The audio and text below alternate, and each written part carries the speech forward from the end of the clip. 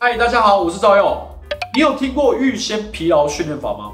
什么是预先疲劳训练法？这是一个在健美圈存在已久的练法。它的基本原理是这样的：在你训练某些多关节动作之前，先让你主要想要训练的目标肌群感到疲劳，这样才不会因为辅助肌先没有力，导致你的目标肌群没有得到足够的训练。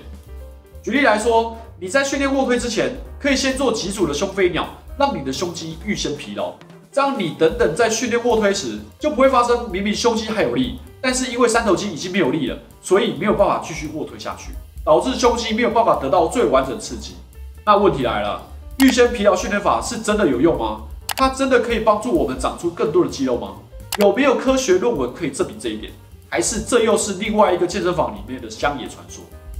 那我们都知道，不管是哪一种训练法，训练效果要好，最关键的就是要有高品质的。现在这颗由物理治疗师跟医师联手打造的忘忧枕，保证让你每晚睡得又香又甜。一个枕头好不好，有四大指标：支撑、柔软、透气跟形状。市售枕头因为单一材质的关系，前三点通常只能满足两点，而忘忧枕使用的特殊材质，让它同时拥有记忆枕的支撑度、乳胶枕的柔软度、羽绒枕的透气度。而最后一个指标形状，忘忧枕上下两边不同的弧度设计，符合男女不同体型的肩宽。左右两边比较高，适合侧睡；中间凹陷适合正躺。不管怎么躺，都能让你的颈椎处在最舒服的角度。现在忘忧枕团购期间，提供给大家五二折的专属优惠，用这么优惠的价格就能睡个好觉，真的超划算。连接在影片底下说明栏，只要用 FB、Line 或是手机登录。即可看到专属优惠，赶快把握团购期间，把忘忧枕带回家吧。在今年以前，我们只找到两篇关于预先疲劳的研究。二零一九年的这篇研究找了三十一名十八岁到四十岁的男性，这些受试者已经有一年的训练经验了，但是在实验正式开始之前，已经先停止训练了半年的时间。实验总共分成两组，第一组一般训练组，每周会训练两次，每次训练都会做三组的腿推训练。重量设定在 ERM 的百分之七十五，然后每组都会做到力竭，午间休息一分钟。第二组预先疲劳组一样，每周会做两次的腿推训练，但在每次训练之前会先做一组腿伸展，重量是 ERM 的百分之二十，做到力竭，再马上接着做腿推，跟一般训练组一样，总共做三组，重量是 ERM 的百分之七十五，每组做到力竭，组间休息一分钟。这些受试者每天都会摄取每公斤体重一点四公克的蛋白质，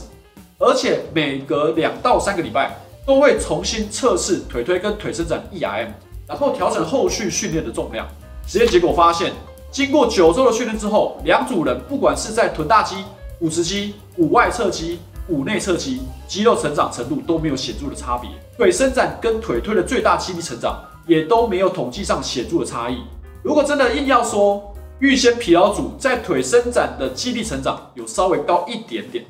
但这其实也不算太意外，毕竟只有预先疲劳组有针对腿伸展这个动作进行训练。另外，这篇研究也是类似的测试方法，唯一的差别在受试者在腿伸展跟腿推之间有三十秒到一分钟的组间休息，而这篇研究发现，预先疲劳组在股四头肌的四个头都有比较明显的肌肉量跟肌力的成长。其实关于这两篇研究有这样的结果，并不算太意外。首先，这两篇研究都没有特别控制两组人的训练量。第一篇研究，预先疲劳组在腿伸展做完之后，马上接着做腿推，虽然一样做到力竭，预先疲劳组的腿推训练量应该会比一般训练组少一点，但是预先疲劳组又多了一组腿伸展，所以两组人的股四头肌训练量可能差异不大。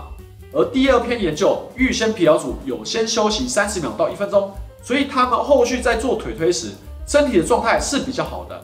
他们两组人的腿推训练量可能差距不大，但是预先疲劳组还多做了一组腿伸展，因此预先疲劳组有更多的肌肥大，可能单纯就只是训练量比较高而已。所以在以前我们对预先疲劳训练法其实是还很模糊的，缺少一个设计更严谨的研究来证实。一直到今年这篇最新的研究出现，这篇研究一样将受试者分成三组，一般训练组。预先疲劳组还有递减组，跟之前关于预先疲劳的研究不同，这篇研究控制了一般训练组、预先疲劳组、递减组之三组人之间的总训练量是相同的。传统训练组会练四组的腿推跟腿伸展，每组八到十二下，组间休息三分钟。预先疲劳组则是会先练一组百分之三十 ERM 的腿伸展，练到力竭，休息三分钟之后再进行正式组训练。力竭组则是反过来，在正式训练的最后一组做完之后，先休息三分钟，再做一组百分之三十 ERM 的腿伸展，做到力竭。这三组人的正式训练组数不同，主要是为了让这三组人的总训练量可以达成一致，减少影响实验结果变因。研究结果发现，这三组人在股四头肌的肌肥大程度几乎没有差别。硬要说力减组的稍微好一点点，但差别不大。而力量的进步、肌耐力的进步，这三组人也一样几乎没有差别。所以我们可以从这些研究了解什么？预先疲劳组对增肌有效吗？我觉得有效，但不是直接有效。甚至我觉得这样的训练法是有代价的。